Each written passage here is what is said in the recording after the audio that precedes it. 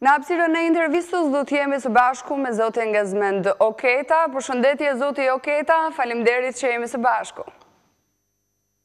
Përshëndetje dhe faleminderit për ftesën.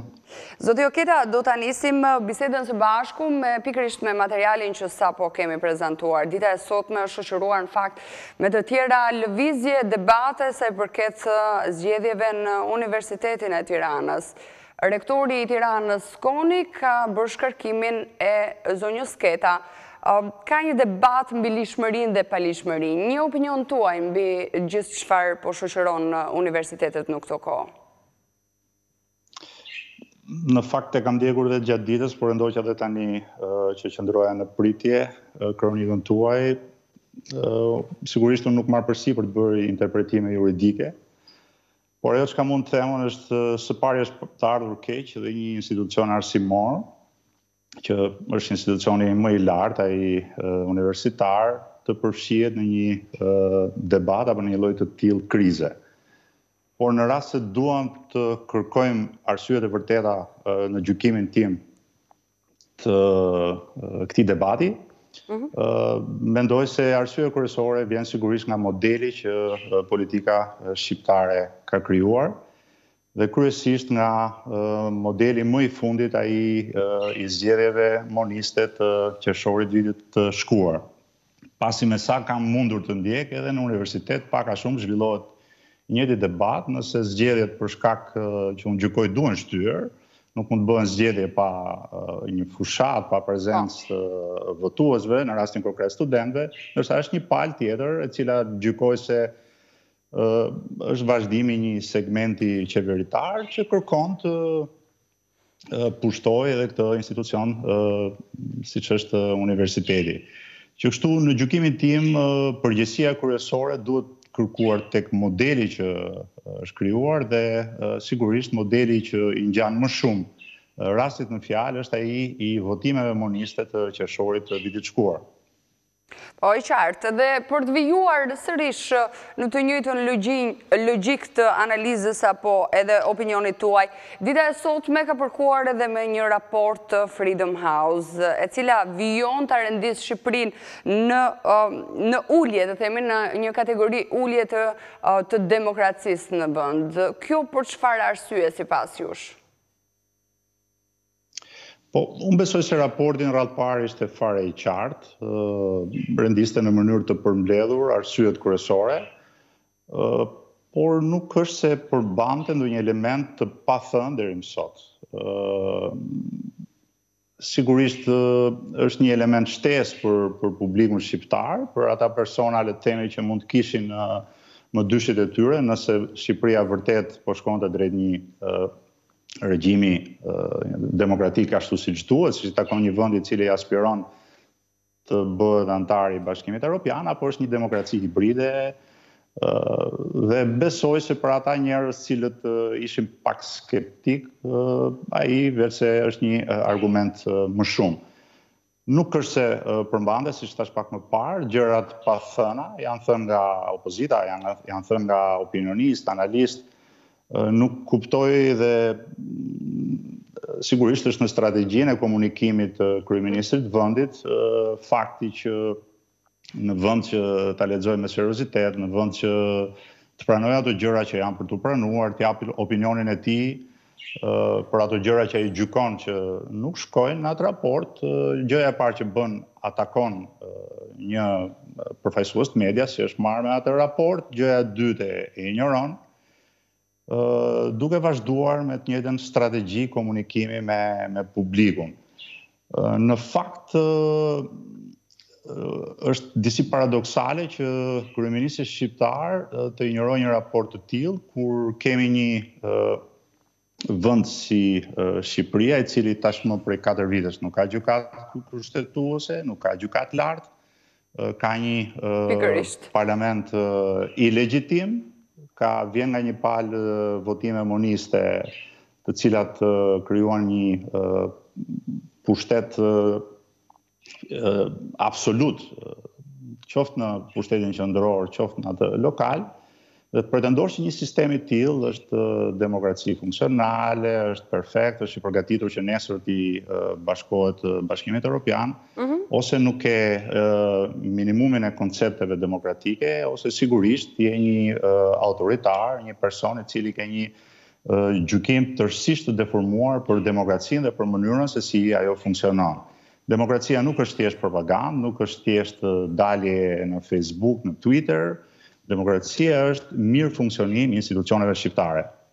Dhe fatkeqësisht zoti Rama ka dëshmuar se nuk tregon respektin minimal qoftë për institucionet e pavarura shqiptare, qoftë për interesin publik.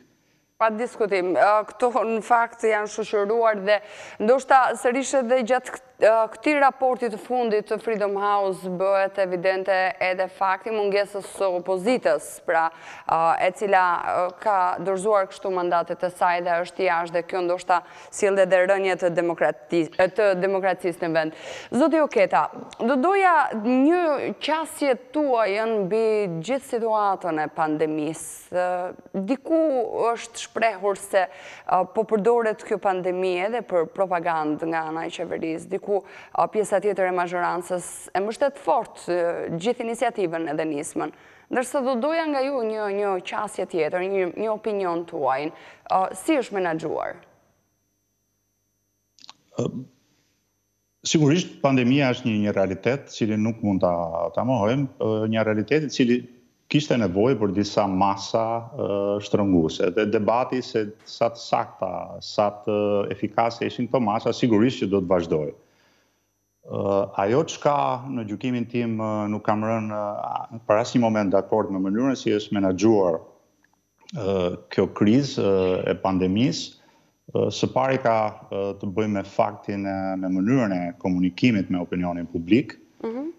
Fatkeqësisht edhe në një situatë të tillë, i vetmi aktor që ka komunikuar për çdo rast, ka bërë mjekun, ka bërë ekspertin e gjithçkaje të ekonomisë, të zbulimit të vaksinës, të gjithçkaje që lidhej me këtë situatë, ishte përsëri kryeministri i Shqipërisë, i cili në gjykimin tim gabimin e parë jo të paqëllimshëm bëri faktin që theksonte vend e pa vend duke e quajtur një situatë të tillë luftë, luftë, luftë. Po.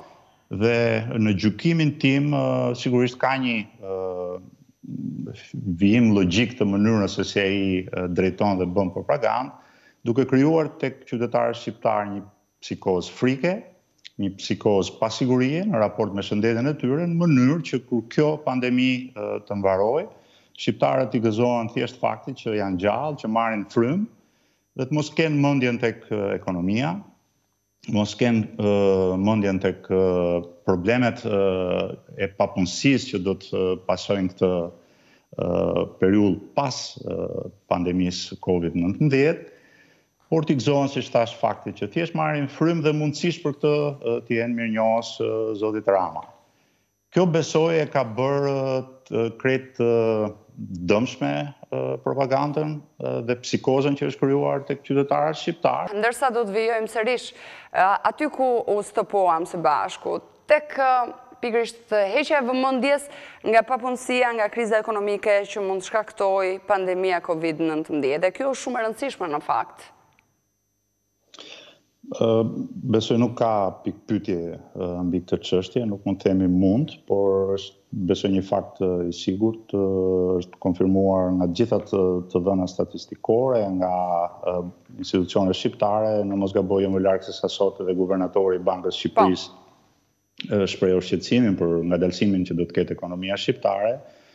ë dhe ajo që po thoja duke kundërshtuar në këndvështrimin tim mënyrën e përqasjes së kryeministrit Rama dhe e ndaj nga qeveria pasi theksoj që ishte ai si në çdo rast që merr vetëm flamurin e gjithçkaje. Ne nuk kemi as republikë parlamentare, as qeveri, ne kemi një republikë kryeministrore. Dhe për këtë duhet për gjithçka t'i drejtohemi Kryeministrit Rama, doja të thoja që me strategjinë e tij duke krijuar një psikozë frike, në vend që të krijonte një psikozë optimizmi, sepse tek e fundit roli i drejtuesve ky është, që edhe aty ku shpresa duket e pakët, krijojë një klimë besimi, optimizmi se të gjithë së bashku, secili me kontributin e tij sado modest, kontributi i qytetarëve shqiptarë ishte që të qëndronin nëpër shtëpia, kontributi i autoriteteve e institucioneve përkatëse duhet të ishte ai që kanë për detyrë për të bërë. Zoti Rama bëri të kundërtën, duke krijuar këtë psikozë frike, pasigurie tek qytetarët shqiptarë dhe një psikozë e cila sigurisht përcillet dhe tek ekonomia shqiptare, tek biznesi shqiptar. Një pjesë e tij është trembur për pasojat që do të vijnë, duke reduktuar investimet, duke mbyllur projekte që mund të kishin në zhvillim e sipër, ndërsa pjesa tjetër është prekur realisht nga kriza dhe fatkeqësisht nuk ka gjetur mbështetjen e e premtuar nga qeveria shqiptare. Nëse intervistoni apo kontaktoni biznes, biznesmen i vogël, i mesëm apo i madh rëndësi s' ka, besoj keni vënë re që ata gjithë kanë një emërues të përbashkët. Po. Ëm pasigurinë dhe mosbesimin tek mbështetja që do t'i vijë nga qeveria shqiptare. Pa diskutim, dhe kjo strategji e paketa e parë, paketa e dytë, ky termi absurd, mhm. paga e luftës, është në gjykimin tim totalisht, totalisht i pa i papranueshëm. Sigurisht, është një situatë pandemie, duhet të mbeteshim te një term i tillë, Me sa duket, zoti Rama nuk e ka aspak idenë se ç'do të thotë realisht luftë. E pas kësaj analize që ju bëni, si parashikoni reagimin e qytetarëve, bizneseve, atyre të cilët për si pasojë e kësaj situate do të ngelin të papunë kundrejt qeverisë? Në fakt, personalisht, përgjithësisht jam person optimist. Gjykoj se ashtu siç në periudhën e tërmetit të 26 nëntorit, i cili goditi disa qarqe të Shqipërisë, nga më të goditurit ishte qarku i Durrësit, qarku i Tiranës, po ashtu po. i Lezhës, shqiptarët treguan një solidaritet njerëzor, pa organizimin e qeverisë, gjeti gjithsecili mënyrën e tij, dhe kur them shqiptarët, them qoftë ata brenda kufijve zyrtarë të Shqipërisë, qoftë shqiptarët e Kosovës, iu gjindën pranë njëri, pranë njëri-tjetrit, besoj se me kapërcimin e kësaj situate pandemie, me mbështetjen apo pa mbështetjen e qeverisë shqiptare, biznesi shqiptar apo dhe vetë qytetarët shqiptarë do të dinë të gjinden pranë njëri-tjetrit, do ndajnë ato mundësi financiare që do të kenë me njëri-tjetrin, do të bëjnë një rishikim të buxheteve të firmave të tyre, të bizneseve të tyre, por të mos nxjerrin në rrugë asnjë nga ish të punësuarit e tyre, kur them ish në, në sensin që mund t'i kenë pezulluar përkohësisht përgjatë kësaj periudhe. Do të ishte mirë që ashtu si në vendet e tjera të mos shkojmë është sigurisht është tepër krahasim i gabuar që t'i referohemi Gjermanisë apo t'i referohemi Francës, Po le të rrimë brenda rajonit, mhm. është për të ardhur keq që një vend si, si Shqipëria, të renditet i fundit krahasuar me Republikën e Kosovës, me Republikën e Maqedonisë së Veriut, me Malin e Zi, me Serbinë, i fundit dhe me një diferencë goxha të konsiderueshme për mbështetjen që qeveria i jep biznesit, i jep ekonomisë shqiptare, i jep qytetarëve shqiptarë për të kapërcyer një situatë të tillë. Sigurisht nëse buxheti i qeverisë shqiptare do të ishe mirë administruar, nuk do të ishe nuk do të ishe orientuar në këto tendera të cilët tingëllojnë të pakuptimshëm, Ju përmendët pak më parë një tender absurd të, po, Kuvendit të Shqipërisë, por që është një një pikë në oqean në raport me me koncesionet, të cilët u përmendën si në rastin e situatës të krijuar nga tërmeti i nëntorit, aq më tepër në një situatë të tillë duhet ishin hapi i parë që duhet kishte ndërmarr një kryeministër i përgjegjshëm, një qeveri e përgjegjshme, duke aq më tepër që pretendon dhe përmend edhe termin luftë, atëherë në një situatë lufte gjëja e parë hiqen disa koncesione, të cilat përveç se janë në disa raste edhe të panevojshme, janë absolutisht korruptive. Por me sa duket kjo pjesa korruptive, fitimi i munguar që do të kishte kryeministri edhe disa ministra nga prishja, anullimi i këtyre koncesioneve bën që kryeministri i Shqipërisë të zgjedhë më mirë vuajtjen e shqiptarëve sesa anullimin e atyre koncesioneve. E ka patur debat të gjerë në fakt referuar edhe anullimit apo mos anullimit të koncesioneve, kryeministri Rama ngre pretendimet se anullimi i tyre do rëndonte edhe më shumë qoftë edhe në buxhetin e shtetit, por edhe tek taksat e qytetarëve, e kështu duket se nuk ka fund kjo rokada për çështjen e koncesioneve. Ama, Në të gjithë këtë situatë, në gjithë këtë amulli, sipas jush, a do ta forcojë më së tepërmi fuqinë dhe pushtetin e qeverisë apo të kryeministrit Rama kjo situatë në të ardhmen? Absolutisht që jo. Unë besoj se jo. Me mbarimin e kësaj situate, Ashtu siç do të kemi një lloj riformatimi le të themi të sjelljes së gjithsecilit, me atë të ashtuquajturën distancim social, i cili do të vazhdojë edhe për një farë periudhe, derisa të jemi të sigurt që Covid nëntëmbëdhjetë është zhdukur përgjithmonë, besoj se do të ketë dhe një riformatim të përqasjes së çdo qytetari shqiptar në raport me politikën, në raport me qeverinë, në raport dhe me vetë zotin Rama. Që kështu nuk besoj se ka ndonjë shans kryeministri Rama apo qeveria shqiptare të dalin më të fortë nga një situatë e tillë, përkundrazi, ashtu si në situatën e tërmetit nëntorit zoti Rama hyri me kuotat më të ulëta politike, ashtu dhe në pragun e kësaj pandemie ishte në kuotat e tij politike më të ulëta, absolutisht nuk ka bërë gjë tjetër veçse me mënyrën se si është përqasur zgjidhjes së kësaj çështjeje ka bërë veçse të ulë dhe të përkeqësojë akoma më shumë kuotat e tij.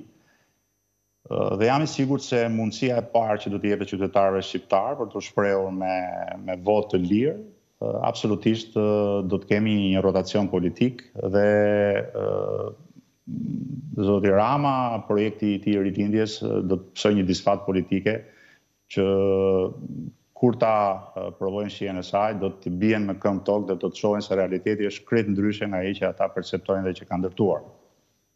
Dita e sotme ka përkuar edhe me zhvillime të tjera sa i përket reformës zgjedhore.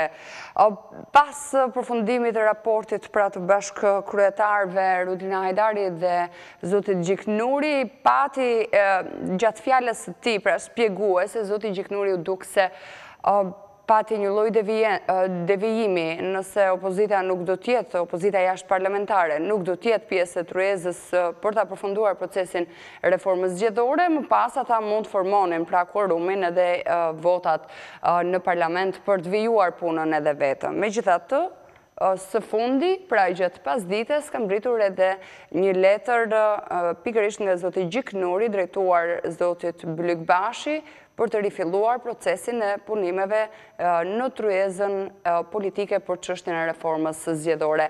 Si do të konkludohet kjo sipas jush? Do të vijojnë me propozimet e opozitës të merren parasysh?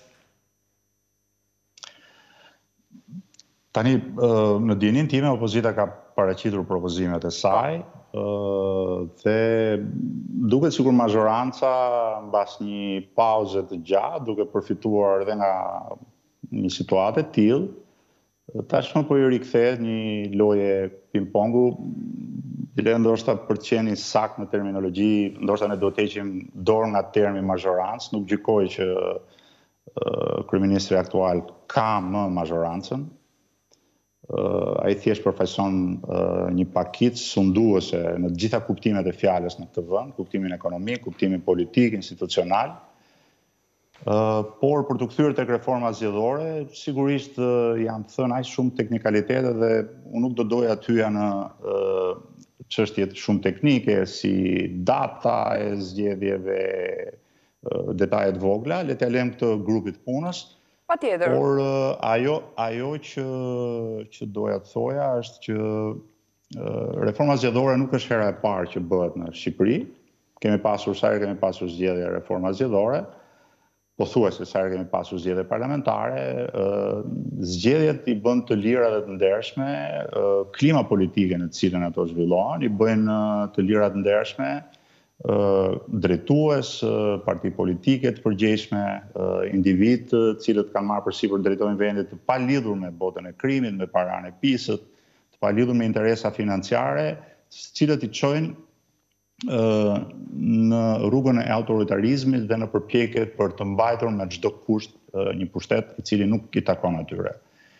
Që kështu sigurisht reforma duhet të ecë përpara, është dhe një kusht i Bashkimit Europian, Por më tepër se sa për këto kushte, unë gjykoj, është thënë dhe stërthënë mbas 30 vitesh, klasa politike shqiptare duhet të ndjejë peshën e përgjegjësisë morale në radhë të parë në raport me qytetarët shqiptarë.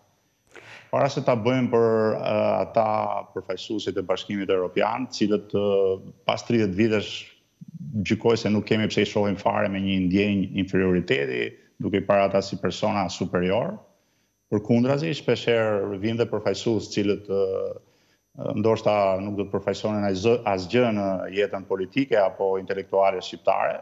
Mhm. Që kështu duhet t'i themi ca gjëra hapur siç janë.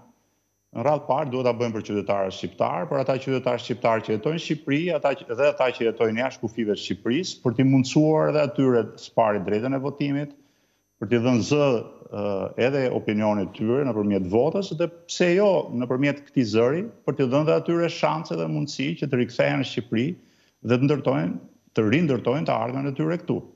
Po, i qartë. Që kështu reforma absolutisht duhet bërë, por janë shumë të rëndësishme këto faktorët e tjerë. Largimi i çunave problematikë nga procesi zgjedhor, mosshkaktimi i tërmeteve ministrore gjatë proceseve zgjedhore, largimi i elementëve të cilët i drejtohen kryeministrit të vendit si babloku i cili zgjidh gjithçka. Këto janë gjëra shumë më të rëndësishme se sa pikat apo presjet në në kodin zgjedhor. Zoti Oketa, unë ju falenderoj shumë për bisedën që kemi patur së bashku, për opinionin dhe analizën tuaj. Shpresoj të jeni mirë dhe shpresoj në të tjera biseda së bashku.